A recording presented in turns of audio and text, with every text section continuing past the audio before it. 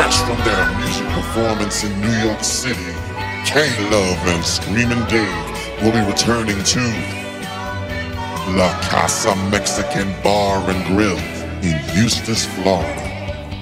This Saturday, November 16th at 6 p.m.